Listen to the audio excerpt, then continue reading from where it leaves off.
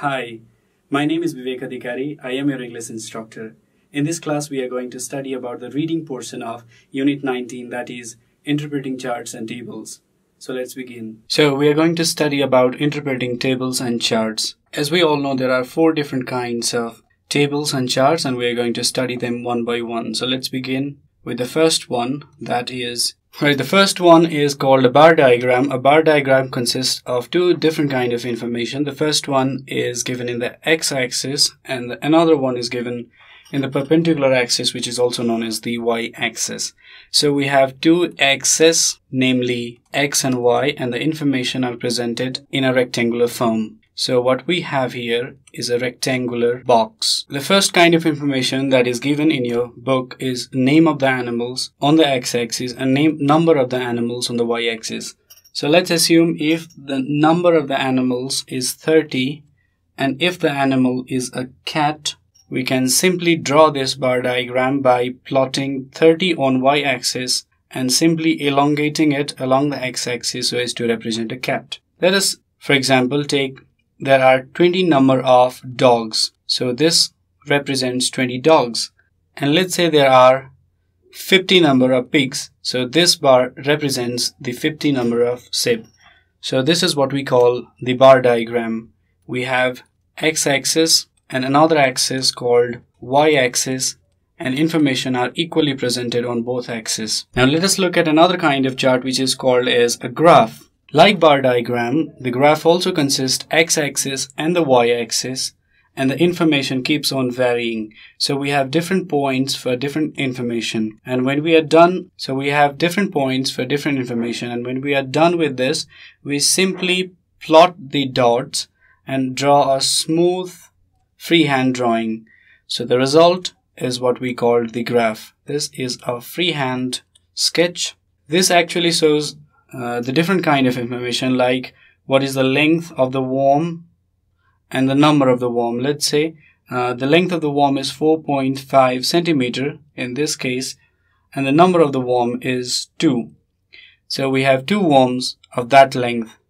So the number goes on increasing and finally there's a sharp decline. This is what we call the graph. Now let's look at another kind of chart which is called pie chart. It is rightly called so because it looks like a pie. What we have in a pie chart is a circle and this circle is divided into several different compartments as per the data that is given. So we are going to divide it into different segments.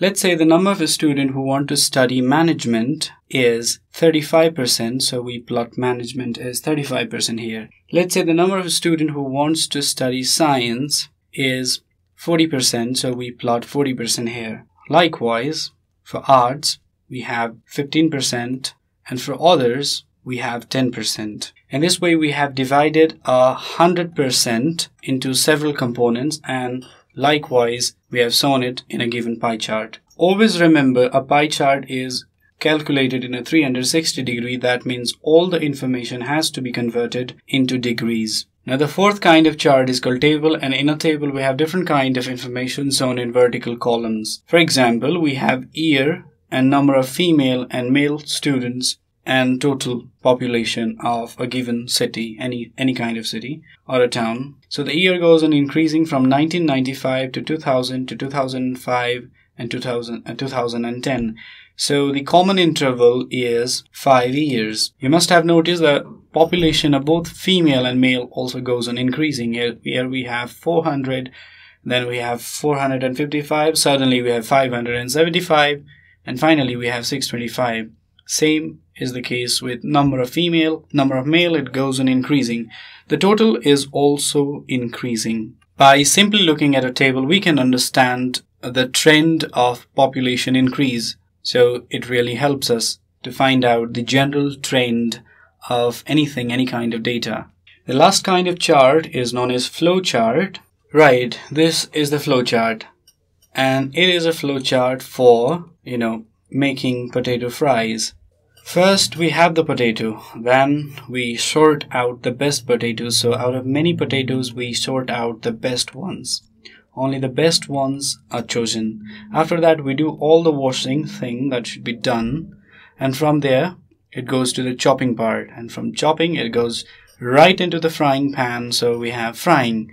And the final activity that is done is serving and serving. After serving comes eating that is having. So this is the complete flowchart for frying or making potatoes by simply looking at this flowchart we can understand what this flowchart is about and how the pattern flow follows did you notice the use of arrowheads and please remember to use these arrowheads, this represents the beginning while this represents the end and all the information are included in a parallelogram sort of box. Right. Now we're going to start the reading first. Now we are here on the reading first, the study time. Uh, I have roughly tried to sketch the given bar diagram. This is the number of students of a public school in Ilam. we have years on the x-axis and number of students on the y-axis. The year goes on increasing from 2011 to 2012 up to 2015 while the number of students starts from 100 and ends up to 600. So this, this first one shows the number of boys while uh, the second one represents the number of girls as I have given in the index. This is what we have as an index of the bar diagram. So let's move on. Now let's look at this bar diagram. The above bar chart illustrates the comparison between different number of boys and girls studying in a public school in Ilam. As we can see, uh, there, there are now 600 boys in the beginning of year while 500 girls in 2011 and uh, this data is exactly reversed. We have 500 boys and 600 girls in 2015. Moving on, let us now look at the exercise portion, that is vocabulary in use. We're going to find out the synonyms for different words. The first one is portrays, which means illustrates. The second one is discloses, which means reveals. Another one is escalated, which means increased. The fourth one is precisely, which means exactly. Another one is called tendency, which means trend. The last one is called stable, which is constant. Now let us go to the reading comprehension part. So the first question is the number of students in the school. And the options are changed rapidly, changed only in a few years, was all the same all the years. And if you look at the given graph, we find out the answer is the total number of the students was always constant. What that means is it was the same in all years. Then another question is the ratio of the boys and the girls in 2015 was. For this question, you need to do a little math. Go to the uh, go to the part of 2015 and find out the ratio of boys to girl. That is, the number of boys is 500 while the number of girls is 600. That turns out to be 5 is to 6. If you cancel out and do the math. So the answer is the ratio of boys and the girls in 2015 was 5 is to 6. Another question is the number of girls increased. The first one is as much as the number of boys that decreased, less than the decreased number of boys, more than the number of boys that decreased. Let's do a little math. If you look at the given graph and find out the trend from 2011 to 2015, you generally find out that the number of girls increased as the number of boys decreased. What that means is the answer is as much as the number of boys de that decreased. So this is the last question of reading comprehension. The data presented in the bar chart surprises us because the number of boys decreased every year or the number of girls increased every year or the total figure of the students did not change. The first two options also seem correct, but the right answer is the total figure did not change because the total number of students is always constant and that is 1100. So the answer is the total figure of the students did not change. With this we come to the last portion of the exercise which is called answer the following question. Let's start with that. The first question is what kinds of data are presented in the above bar diagram? So what do you think? Well, if you look at the bar diagram, you generally find there are two different kind of data. They are year and the number of students, number of boys and number of girls. So we're going to write something like number of boys and number of girls are presented in the above diagram. Data related to the number of boys and girls of a public school in Ilam is represented in the above diagram. Now we can fill in the blanks. Let's look at another question. How many girls were studying in 2015? For that, you need to go to the section of 2015 and find out the number of girls in 2015, which turns out to be 500.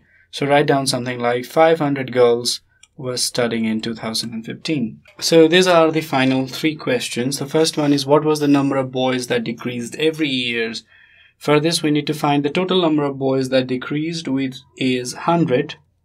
That is 100 number of boys that is decreased over a period of 5 years. So if you divide this number 100 by 5, what we have is 20.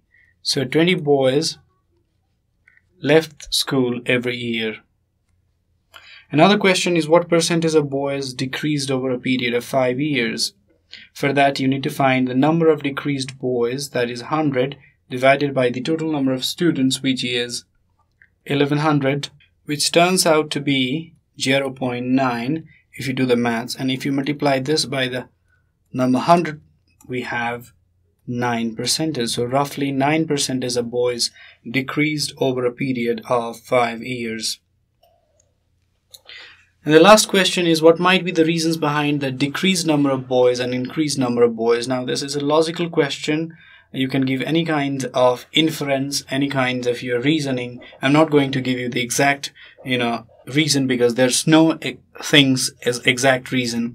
So this is the question that is related to reasoning and you need to use your own mind, use a bit of creativity and give the answer. So what might be the reason? You need to give some reasons. So maybe the boys left the school in order to work in the field, and maybe the girls came to school because, uh, you know, the parents were encouraging uh, their their female child to study in the school, something like that. That's not exactly the exact reason, but you can come up with good reasons like that.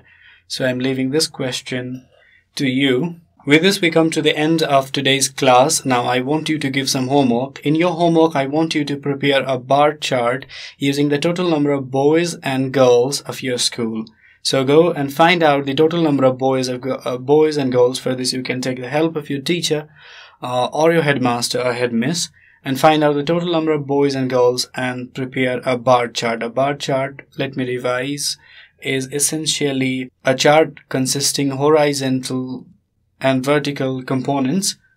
It consists rectangular elements along x-axis and y-axis. So we have two axes and different kind of information like boys, girls, boys, girls. I want you to find out the exact number of boys and girls of your school and prepare a bar graph. With this, we have come to the end of today's class. If you have any questions or suggestions regarding this video, feel free to write us at learning at Thank you.